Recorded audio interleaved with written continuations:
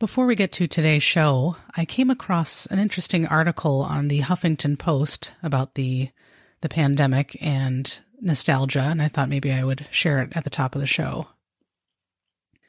This is an excerpt from an article entitled, Here's Why You're Reminiscing More Than Usual During the Pandemic. And this article is written by Julia Rise. The pandemic has made life weird, and lockdowns and restrictions are just some of the recent events to have a tremendous effect on the human psyche. A few months ago, tons of people started experiencing wild and vivid coronavirus themed dreams. As the days passed, many lost their sense of time and stopped caring about whether it was Sunday or Tuesday.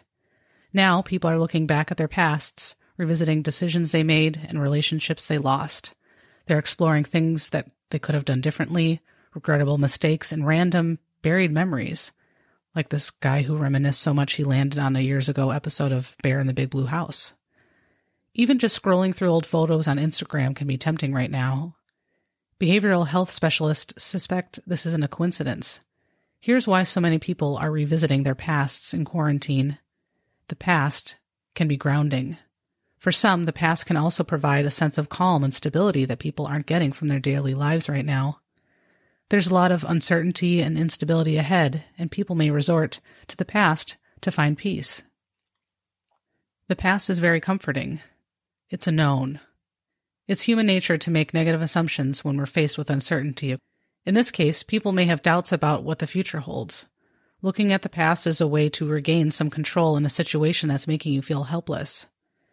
Myra Mendez, a psychotherapist with Providence St. John's Child and Family Development Center in Santa Monica, California, added that looking back can help people understand how they once dealt with grief and uncertainty and that they can overcome difficulties yet again. Most people will realize they've had a great capacity for resilience, Mendez said. The past can also be grounding, she added. It validates our existence and gives our life meaning, especially in a time when there's so much instability. When you're grounded in your own existence, it stabilizes your thinking, your emotions, your ability to problem solve, and cognitively process information. Mendez said. Couldn't have said it better myself. It must have been around 1988 or maybe 1989. My sister and I had saved up our money and decided to pull it together so that we could purchase Nintendo. One day, our parents drove us to the local music and electronics store called Coconuts. That's not made up. That is the name of the store that was once there. My sister has always been much better at saving her money than me, so she contributed well over, I would say, a $100 to our cause, and I must have given maybe 20 or 30 bucks, maybe less. For the rest of the time that we had together, every once in a while, she would give me a hard time about it. Remember when I basically paid for all of Nintendo and you contributed like $5? Yes. Yes, Becky, I remember that. Thank you very much. Sisters, can't live with them, can't live without them.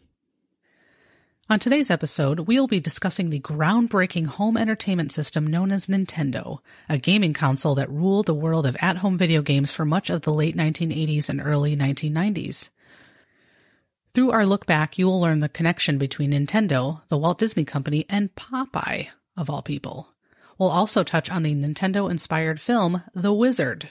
So pull up your beanbag chair and slap on your power glove. Here we go.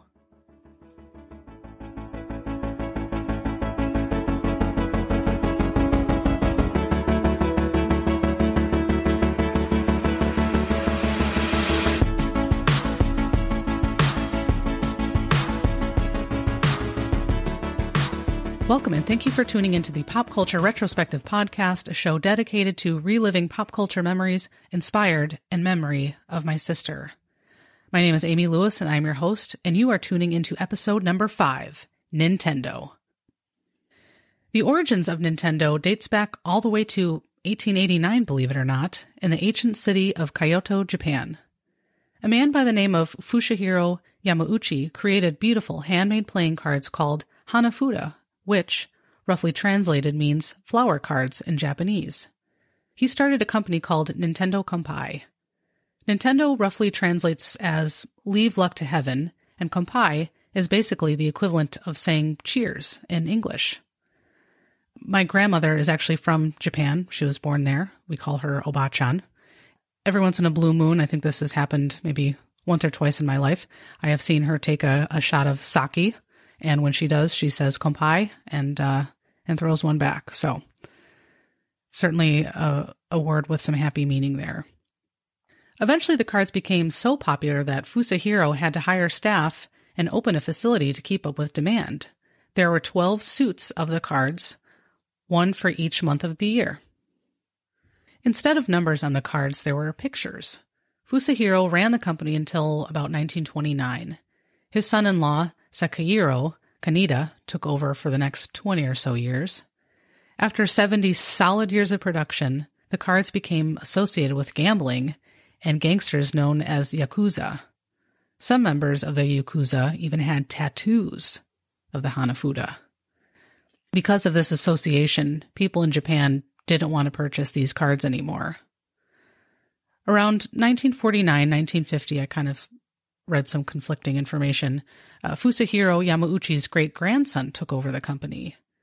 His name was Hiroshi Yamauchi, and he was just 22 years old and was very ambitious. He wanted to move beyond just making playing cards. He wanted to transition into the toy industry. That would come eventually. Meanwhile, though, the Nintendo company continued to produce playing cards. In 1953, they became the first company in Japan to produce playing cards made out of plastic. Also interesting to learn in the late 1950s, Yamauchi met with Disney executives to work on a plan to license Disney characters on playing cards. The hope was that, through this partnership, perhaps the stigma of gambling and gangs would go by the wayside when customers saw the likes of Bambi and Thumper on their playing cards. This partnership proved to be a huge success they sold over a half a million packs of the cards. Yamauchi was incredibly inspired by the Walt Disney Company because they were really and truly a global entertainment company at that point. Disneyland opened in 1955, and after working out some kinks like women's high heels getting stuck in the tar on Main Street and the water fountains not working, it actually became a huge success. Disney had an animation studio, a live action movie studio, merchandise, etc. Mickey Mouse had been a household name for decades by this point. Yamauchi then decided to change the Nintendo Kompai Company name to just Nintendo. In the mid 1960s, the Nintendo Company attempted to expand their brand via some pretty random ventures as the playing card industry was on a bit of a decline, to say the least. They ran a taxi company, a food company, a love hotel chain, and developed a remote controlled vacuum called Chiritori. How you like them apples, Roomba? Yeah. In the 60s, they developed a remote controlled vacuum. The Roomba didn't come out until 2002. Suck it, Roomba. Thankfully, in 1965, Nintendo hired a man by the name of Gunpei Yokoi, who would prove to be an asset in the progression of the company.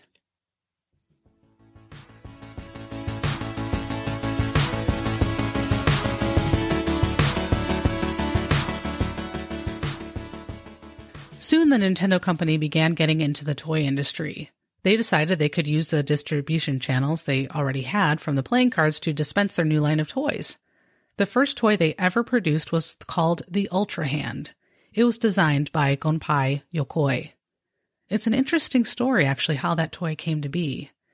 In 1966, Yamauchi was watching the manufacturing of the Hanafuda, and he saw something that caught his eye during that production he saw an extending hand that was aiding in the creation of the cards.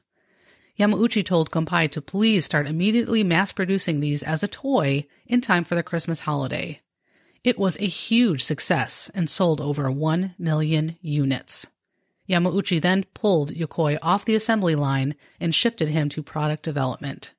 Kind of reminded me a bit of the movie Big. Actually, he really saw something in Yokoi, and that was a very wise decision. Yokoi had a solid understanding of electrical engineering. This would help Nintendo to continue to progress. He would go on to develop several other electronic toys, including the precursor to the Nintendo Entertainment System toy gun that would eventually be used in Duck Hunt. In 1975, Nintendo started to develop home video game consoles. Their first one was called the Magnavox Odyssey, and later the Color TV Game 6. In 1977, Atari released the Atari 2600. This really popularized the use of separate cartridges for games instead of having them just built in. In 1978, Nintendo released a computer game version of the board game Othello. In 1979, Nintendo released some arcade games, which was becoming a huge industry at the time. They released a game called Radarscope. Beginning in 1980, Nintendo released a handheld game watch, sort of like a calculator, called the Game and Watch, which was designed by Yokoi. It was made until 1991, actually, and sold over 43.3 million units. Unbelievable. In 1981, Nintendo developed Donkey Kong, which was designed by Shigehiro Miyamoto. Just before that, though, the company was asked to create an arcade game that was based off of Popeye, if you believe it, to coincide with a movie that was released in 1980. I completely forgot about the cartoon Popeye as well as the live action Popeye movie, which starred Robin Williams and Shelley Duvall. Uh, in case you don't know, Popeye is a sailor who gets his impressive strength from the help of cans of spinach. Don't we all? I had a can of spinach for dinner. No, I didn't. But, anyways, the company ended up losing that license, but they were able to utilize some of that development into the Donkey Kong game. Bluto was a villain in Popeye, so that character became Donkey Kong. Olive Oyl became Pauline the Princess, and the hero, Popeye, became Jumpman in the Japanese version, and later Mario in the American version. Mario, the video game character, was named after Mario Segale, who Nintendo rented a 60,000 square foot facility from beginning in the early 1980s. Some reports say that he was a bit hot headed and quite the character. By 1982, arcade games generated $27 billion in revenue. $27 billion. And just thinking about going to an arcade now and touching a joystick and buttons that everybody has been touching sounds like a really bad idea. But Hey, in 1982, it was quite a big deal. There were approximately 60,000 arcade units at this peak in the United States. Home game console use earned about $14 billion that same year. Unfortunately, though, things changed very quickly. Just that next year, 1983, the year of my birth, the arcade industry started taking a serious nosedive there were just too many developers developing too many games, and it became an issue of quantity over quality. Consumers were moving toward using computers at home. Making note of this, in 1983, the greatest year on record, Nintendo released a home video game console called the Famicom, which was short for Family Computer. In 1985, Nintendo showcased their new Nintendo Entertainment System, or NES, at the Consumer Electronics Show. The NES utilized cartridges, although initially, when it was in development, the console was going to utilize floppy disks and a keyboard. Hiroshi Yamauchi thought that floppy disks and keyboards would be too intimidating to most people, which is a crazy thought in 2020. They drastically modified the Famicom design by having the game cartridges load in the front and not on the top. They wanted it to load more like a cassette player because people were getting more familiar with that and were more comfortable with that design. Later that same year, they began a slow rollout of the Nintendo Entertainment System via test markets in New York City and Los Angeles, and later San Francisco and Chicago. The full rollout happened in September of 1986. In the US and parts of Europe were included. One key decision they made was to market Nintendo as a toy not a video game or electronic, since consumers were starting to shift away from that. This marketing strategy, along with the quality of the games, resulted in Nintendo being a huge success. In Christmas of 1986 and 1987, Nintendo was the biggest seller. It cost about $140 or so when it was released, and it originally came with a robot named Rob the Robot Playmate. God, we missed the boat on that one. We did not have the robot. Ugh. Anyways. Soon, Nintendo blew Atari out of the water and it took 65% of market share in 1988. Some of their most popular games for NES included Super Mario Bros. 1, 2, and 3, Duck Hunt, Legend of Zelda, which was absolutely my sister's favorite game, Dr. Mario, Teenage Mutant Ninja Turtles, Excitebike, and Zelda 2, The Adventure of Link. Some of the NES accessories that you may remember Power Glove, which was released in 1989. It worked as a controller and motion detector. You could move your character by pushing buttons, turning your wrist, or moving your arm up and down. The Power Pad could be used for more movement based games like World Class Track Meet, Dance Aerobic, and Athletic World. There was also the NES Advantage, which was a large game controller that had a joystick and two turbo knobs.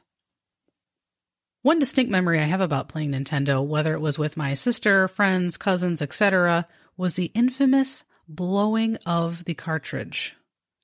For some reason, everyone knew that if your game wasn't working right, the solution was to blow on the cartridge. How this word traveled around the world, I have no idea, but everybody did it. So apparently, for 37 years, I've been living a lie because I did some research and uh, and found out that this is not effective. Blowing on the cartridge, that is. In a video clip, which I will uh, add to the show notes, I learned that although we grew up believing that blowing across the bottom of the cartridge was perhaps clearing out dust to make the game work appropriately, that was not the case whatsoever. The website, the AV Club, did some research and learned that this is, in fact, a myth. Blowing on the cartridge doesn't actually do anything, and the liquid from your mouth that gets generated through the particles when you're breathing on it actually can do some damage to the game. The reason why the games worked after blowing on the cartridge had to do with the game getting reinserted and reconnecting, thus fixing any glitches. Mind blown. Mind blown. The article that went along with the clip on the AV Club site had this to say quote, Something that a lot of people don't know is that blowing in your video game cartridges is actually bad because 80s kids were stupid and everything you believe is a lie. End quote. My sister and I had quite the system of blowing on the cartridge, moving the little shelf thingamajig up and down to make it work, and uh, even blowing inside of the Nintendo system to fix any technical problems. So apparently, we actually were, in fact, stupid. Thanks, AV Club. The peak of Nintendo seemed to coincide with the 1989 release of the cult classic film The Wizard, starring America's sweetheart, Mr. Fred Savage, along with other well known names at the time, including Christian Slater, Beau Bridges, and Jenny Lewis, who you may remember was in Troop Beverly Hills. You know, gather round you, friends of mine. We're wilderness girls and it's cookie time. That will be the subject of another show and I will refrain from singing the rest of the cookie song. Anyways, it tells the story of two brothers who travel to California on a bit of an adventure, if you will. Fred Savage plays the character of Corey, whose younger brother Jimmy is in a psychiatric facility due to his PTSD, which resulted from losing his twin sister in a tragic accident. Corey is very frustrated that his parents did this, so within what seems like the first five to ten minutes of the movie, he schemes up a plan to run away with his little brother. In an early scene, he looks at the address of the facility his brother is in on a scrap piece of paper and then throws a dart at a United States map he has hanging in his room. It lands on a few different places and then it finally lands on California. He decides that is where they should go. I mean, that makes a lot of sense. When I'm trying to plan a vacation with my family, when there's not a coronavirus outbreak, I just throw a dart at the United States map. It works perfectly. Soon he sneaks into the facility, gets his brother, and they set off on quite the adventure involving riding in the back of a hostess truck, skateboarding without helmets on in front of semi trucks, no less, video games, and a soundtrack that includes songs by the New Kids on the Block. Corey befriends a girl at the bus station. Her name is Haley, who's played by Jenny Lewis, who we talked about. Uh, she is on her way home to Reno, Nevada. Long story short, Haley ends up missing her bus, and they all end up sort of stuck together, unsure of what to do next. Corey and Haley realize that Jimmy has an incredible knack for video games, and thus he is dubbed the Wizard. They eventually learn that there is a video game contest at Universal Studios in Hollywood, California. The prize is $50,000, and Haley and Corey figure that, you know, if Jimmy can show how talented of a game player he is, perhaps his parents will reconsider keeping him in an institution. They spend the next few weeks going from state to state, earning money by sort of hustling people with video game competitions against Jimmy. Corey will approach people who kind of look like some suckers and uh, encourages them to challenge his little brother, who is young and quiet, so most agree to the battle, but of course they end up losing. In this movie, there is quite a bit of Nintendo product placement, which the movie kind of got some flack for. And some of that product placement included Corey's older brother, played by Christian Slater. He conveniently happens to have a Nintendo in the back of his dad's pickup truck, which he plays when they stop at hotels uh, and when they stop to get their car repaired because they end up going from state to state also to look for the missing boys. The dad also becomes addicted to playing video games. There's a scene in which the trio sees the previously mentioned Nintendo accessory, the Power Glove, in action when Jimmy is looking to play Nintendo against Lucas Barton, who's kind of a bully character. He happens to have all 97 Nintendo games that were available at the time. He shows his skills with the Nintendo and the Power Glove on a car racing game, and at the end, he raises the gloved hand against his black trench coat collar and says, I love the Power Glove. It's so bad. Okay. Jimmy is very intimidated by Lucas's video game prowess and decides not to play against him. Toward the end of the movie, we also get the first glimpse of Super Mario Bros. 3, as that's the game that Jimmy plays in the contest. I remember feeling so excited when I saw that reveal for the first time. It's pretty dramatic and very 80s. Uh, Mario 3 was really unlike any game that we had played before, me and my sister. The movie also features the song Send Me an Angel by the band Real Life, which I play often. I'm not kidding. The song is utilized during a montage scene where we see the kids hitching a ride on motorcycles with some Hells Angels, holding up cardboard signs asking for a ride to Reno, adults on the hunt to find them, etc. This song was also used in the 1986 film Rad, starring a young Lori Loughlin.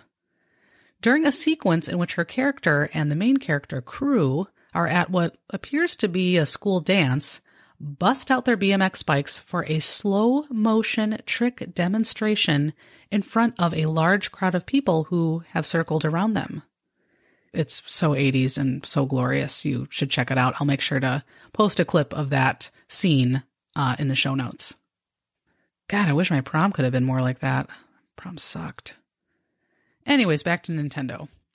Seemingly out of nowhere, a company called Sega released Sega Genesis in 1989, and that's when the now long running competition dubbed the Console Wars began. This sort of marked the beginning of the end of the NES home video game reign. Not so much, you know, Nintendo per se, but just that specific console. Sega tried to market themselves as being a bit kind of tougher and more extreme than Nintendo. There was an old commercial that I will also um, put in the show notes that I totally forgot about until I rewatched it. And uh, the song that plays along with it is Genesis does.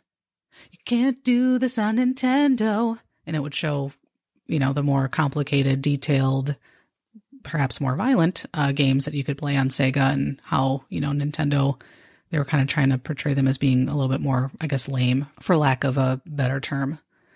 Uh, following Sega Genesis, Nintendo released Super Nintendo, Game Boy, Virtual Boy, which was a huge flop, but everyone was really into virtual reality at this time, including my dad. That's a subject for another show. Uh, Nintendo 64, GameCube, PlayStation, Xbox came out from other companies, etc., etc. Later came Wii, Wii Fit, Wii U, etc. Although the NES didn't reign supreme forever, it is clear what an impact that system had. it really laid the groundwork for all the other video game consoles that came after it.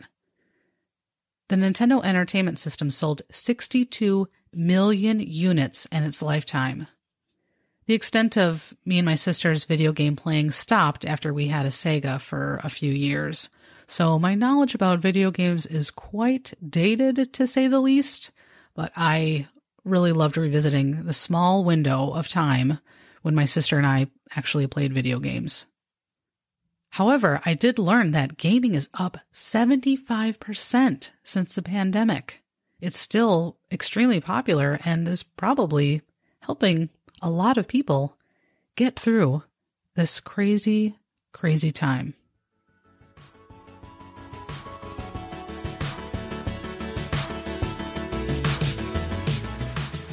I hope you've enjoyed this look back on the Nintendo Entertainment System, the most popular gaming system of the late 1980s and early 1990s. The Nintendo company went from making playing cards to the gambling controversy to remote controlled vacuums to toys, and then, of course, went on to be the trailblazer for all future gaming systems. If you are enjoying the Pop Culture Retrospective podcast, please consider subscribing on whichever podcast platform you use. Please also rate the show on Apple Podcasts or iTunes. It really helps the show out a lot. And thank you to those who have already done that. I really appreciate it. Also, I have been meaning to make a correction on a previous show. Um, on the My So Called Life episode, I mistakenly said that my family took a road trip from LA to Anaheim and it took several hours. They're actually not that far apart. I meant to say that our road trip was from San Francisco to Anaheim, which was very far. If you have any questions or comments about the show, you're welcome to email me at popcultureretrospective at gmail.com or you can tweet me. I have a Twitter for the first time ever and um, kind of getting used to it, but uh, you can tweet me at popcultureretro. I hope you will join me for our next show where we will be discussing one of the most iconic rappers of the late 1980s and early 1990s, Mr. M.C. Hammer.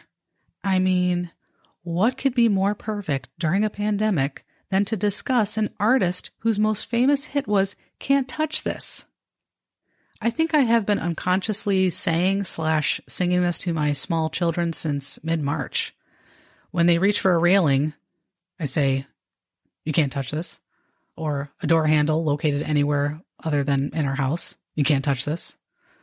Anyways, until then, be kind, be safe, and hold on to your memories.